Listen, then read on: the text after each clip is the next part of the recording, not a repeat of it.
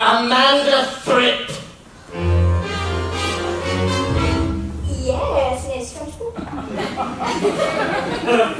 What have I told you about pigtails?